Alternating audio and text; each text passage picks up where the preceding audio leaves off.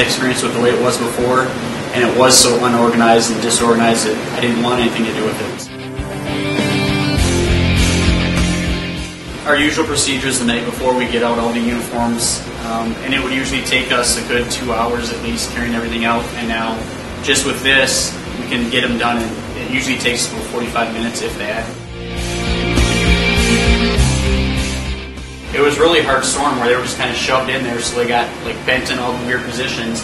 And now that we've got them, they can all sit. They have their spot, and they're all sitting the same way, and it's not getting them all bumped out of shape, and they're staying, keeping their original form and all that. So it does work. As this season, we didn't have anywhere near as many shoulder pads that need reconditioned as usual.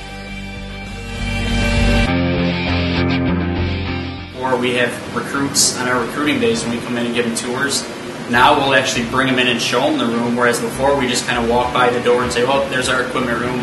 You know, it's nothing you haven't seen before.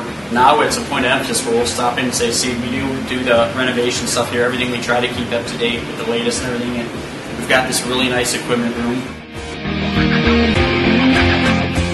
It's like the gloves that we have for the guys and everything. When they, a lot of them will come on game days to ask for them and stuff. Well, now they're all arranged by size. They're easier to get to.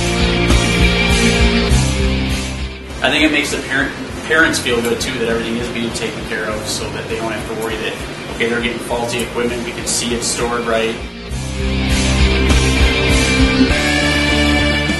Uh, there is room for expansion. We've got whereas the way everything's designed, everything here, there's actually we've got extra space now, so we can get more supplies of stuff we need where we won't run out as quick as we may have before.